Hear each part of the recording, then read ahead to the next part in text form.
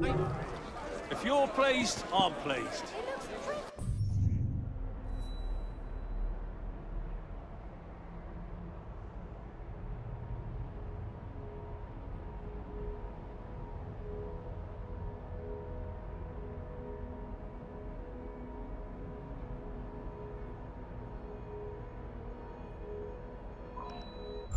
No, you'll be fine.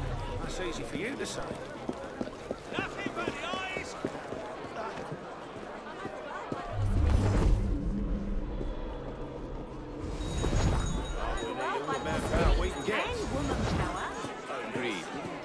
There's no way that John's reputation.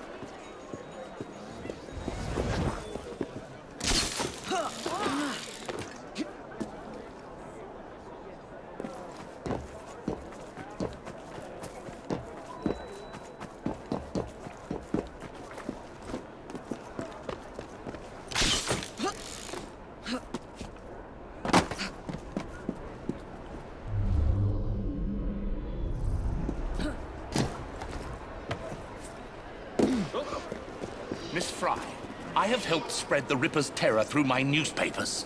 I want to make amends for my part in forging this monster's legend. Even if the author of this letter is not the Ripper, the person who wrote it may well prove dangerous. At best, it's a hoax. At worst, the ramblings of a lunatic who may enact his repugnant fantasies.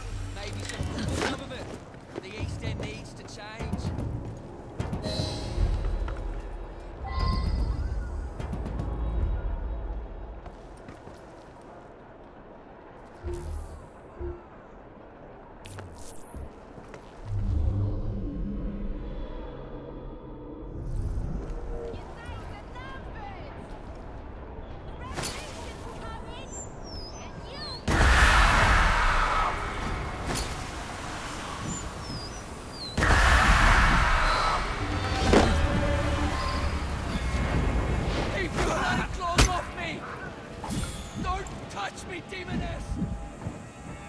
I confess, I wrote that letter, but it was politically motivated.